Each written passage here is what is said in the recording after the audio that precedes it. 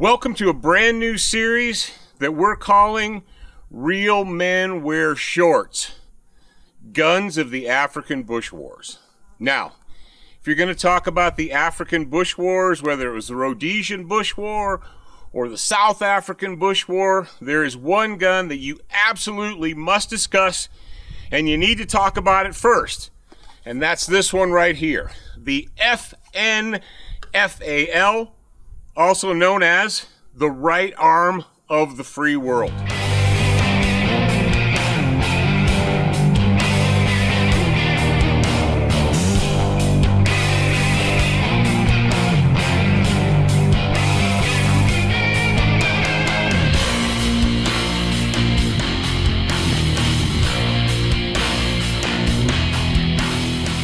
Let's talk a little bit about the history of the FNFAL. Now, FN stands for Fabrique Nationale, the Belgian firearms maker. And FAL is French. It stands for Fusil Automatique Léger, or light automatic rifle.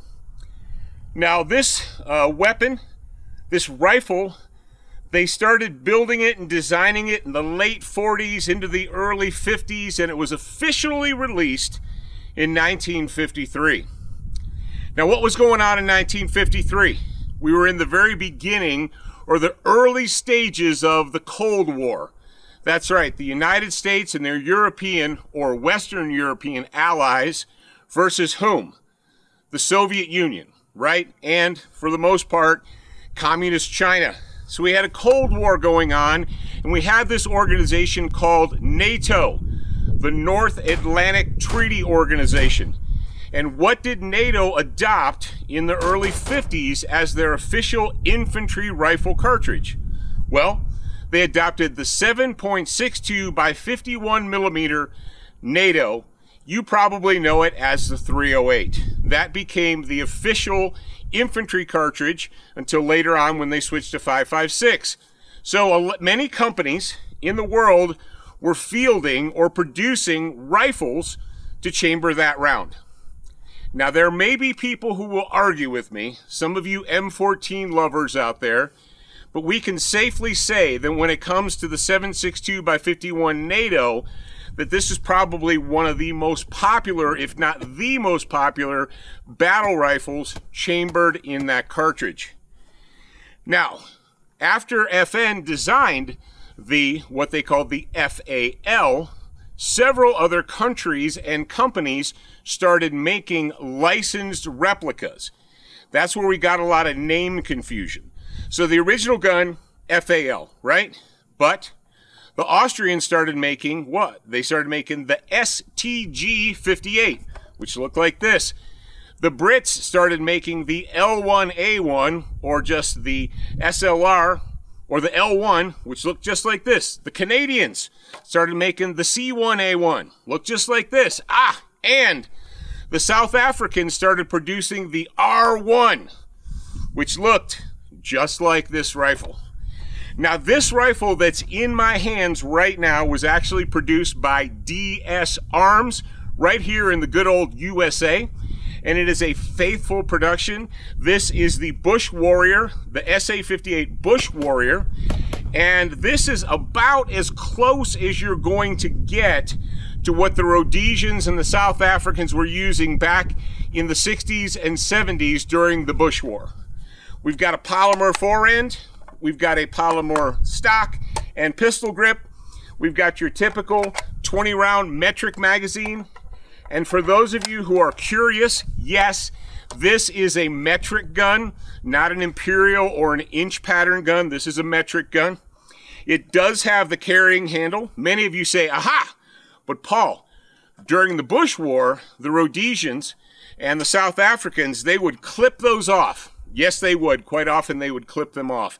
What else is on this gun that makes it unique? Well, we have an original uh, muzzle device right up here a Bush style muzzle device. Right back here, what I have is I have a grenade launching sight because back in the Cold War, in the early 50s, what were they still doing? They were still actually using rifle grenades. Yes, they were still using rifle grenades way back then. And so, this is a gas block, and what it does when you put the sight up, it turns off the gas to the action. So that nearly 100% of the gas is going out of the muzzle because what are you doing? You're shooting a grenade with a blank cartridge with the gas, right? And if you don't want that, well, you just collapse it and put it back to normal. Uh, the gun has a standard style FN FAL safety, mag release, uh, bolt release, charging handle, all that stuff. Like I said, this is a very, and even the sights, the rear sight, which is adjustable for windage and elevation. Then you have your front sight up here. So this is a very, very faithful replica of the original gun. As a matter of fact, it even has the R1 South African sterilization hole. Now this was done custom for me and the grenade sight was done custom for me. So if you go to DS Arms website, don't get angry at them and say, hey, I want the hole punched in mine and I want the grenade sight. Okay, this was done just for this video series and just for me. Uh, what am I wearing? I'm wearing a very traditional style Rhodesian chest rig. I've got the brushstroke hat and the brushstroke shirt. Got myself a bandolier right here of 7.62. This is actually a Cold War era bandolier of 7.62 NATO ammunition. And on the side, I've got myself a socket style FN bayonet. And yes, it does affix right there directly to the end. And it has vents so you can vent the gas out while you're shooting. So ladies and gentlemen, this rifle, the FN FAL, Yes, it was used in Europe, in Northern Ireland. It was used in Central and South America. I get that. But probably the most famous battles that this rifle ever fought was the African Bush Wars. And it became known as the right arm of the free world.